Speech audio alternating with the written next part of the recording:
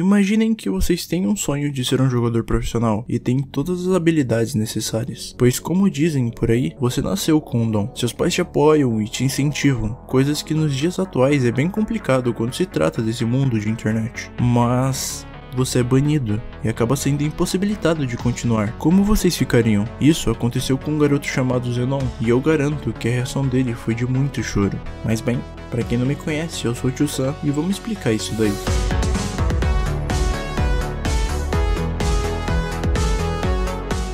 E lá estava eu no Twitter novamente, quando eu notei que os trending estavam uma hashtag chamada hashtag FreeZenon, que de verdade eu não fazia ideia do que se tratava. E como eu estava sem nada para fazer, eu fui pesquisar melhor sobre isso daí. E assim que eu abri a hashtag, se tratava de um youtuber barra streamer barra jogador de Fortnite chamado Zenon, de apenas 9 anos, que havia sido banido no Fortnite. Banido por 4 anos por conta de sua idade, pelo fato de não ter a idade mínima para jogar o jogo no modo competitivo. E isso tudo já deu e está dando um debate imenso, pois um uns apoiam e outros não. Mas eu quero que fique claro aqui que tudo isso que eu vou falar sobre é minha opinião e não uma verdade absoluta. Zenon é daqueles que podemos chamar de prodígio, sabe? Ele é extremamente bom no que faz, tanto que com apenas 9 anos ele já tem um canal com mais de 130 mil inscritos e lá naquele site roxo de lives ele também já tem um canal com mais de 100 mil seguidores, sem contar com os patrocínios de marcas que qualquer um que conhece sonha em ter, como a DT3 que é a marca de cadeiras gamers, a Razer que eu já cheguei a comentar no meu vídeo da Gabi Gattuso, que é uma das maiores lojas de periféricos gamers, e também a grandiosa Nvidia, para componentes de computador. E esse garoto aí, ele já tá muito além, tanto que ele faz parte de um time profissional chamado Detona Gaming. Sim, vocês não escutaram errado.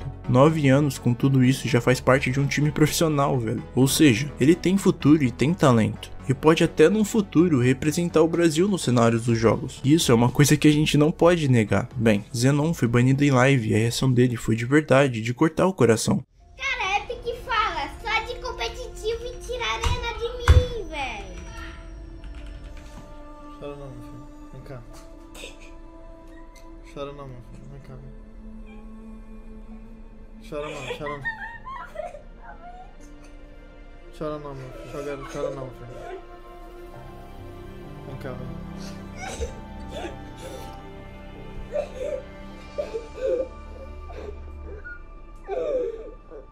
E com isso a internet literalmente quebrou. E essa hashtag virou a segunda trending dos tops trendings mundial. Ou seja, o mundo inteiro de quem mexe no Twitter tava sabendo do que estava acontecendo. E vai por mim, muita gente está apoiando o garoto. Tanto que pro players, organizações, streamers, marcas e muitas pessoas envolvidas com jogos pediram que a situação seja revista. Até mesmo um dos maiores streamers do mundo, o Ninja, defendeu o Zenon na situação, dizendo que a restrição de idade está apenas no cenário competitivo e não no jogo inteiro, pois Zenon ele foi banido no nível de não conseguir mais entrar na sua conta. E se levarmos em consideração, se está ali nas diretrizes desde o começo do jogo falando que a idade mínima para o competitivo é de 13 anos, coisa que aqui no Brasil a regra já foi até alterada, pois aqui a idade mínima é de 10 anos com permissões de seus responsáveis, coisa que com Zenon já acontece. O seu pai sempre tá ali acompanhando e incentivando o garoto. Mas tem coisa que a gente não pode contra-argumentar. É que até no Brasil, infelizmente, o perfil do Zenon,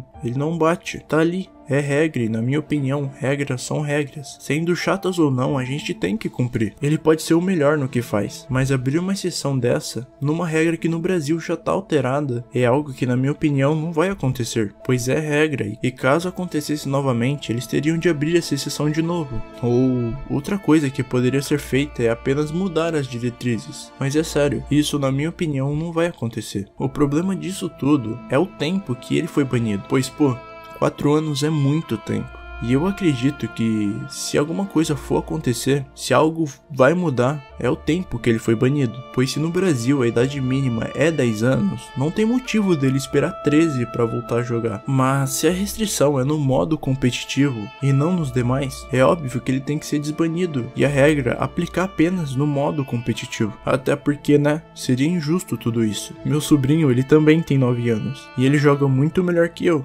e nem por isso ele é banido. A comunidade de Fortnite em si, tirando os pro players e aqueles que levam o jogo a sério, é de grande massa de crianças. E eu deixo claro que eu não julgo isso, porque essa garotada aí, velho, eles jogam pra caramba. Mas se é pra banir, ou bane todos, mas eu não quero que isso aconteça, velho, tipo, tomara que não. Ou desbane o Zenon e deixa o garoto jogar no modo normal tranquilamente. E daqui a alguns meses, quando ele fizer os 10 anos, deixa ele ser feliz e fazer aquilo que ele sabe fazer muito bem. Eu sou o Tio Sam e o vídeo vai ficando por aqui. Eu espero que vocês tenham gostado desse vídeo. Eu espero que o Zenon ele consiga voltar a jogar mas que ele fique entendido que, infelizmente, algumas regras, por mais de chatas, a gente tem que seguir. Isso daí é uma coisa da vida e em tudo que a gente for fazer na vida vai ter alguma regrinha. E algumas coisas de ruim vêm para melhores acontecerem. Se hoje você tá triste por não conseguir jogar um modo competitivo, olha o tanto de pessoas que você conseguiu atingir. Olha o tanto de pessoas que, que estão com você, sabe? Isso é muito maneiro. E eu tenho certeza que esse garoto no futuro, ele vai dar muita felicidade para quem gosta de do cenário competitivo e de jogos, pois ele é diferente. Ele joga muito. Valeu, falou e é nóis. Eu espero que vocês não esqueçam de deixar o like e compartilhar o vídeo, porque vocês já sabem que o meu canal foi definido como infantil e tá toda essa frescura do YouTube aí. E é isso aí. Fui.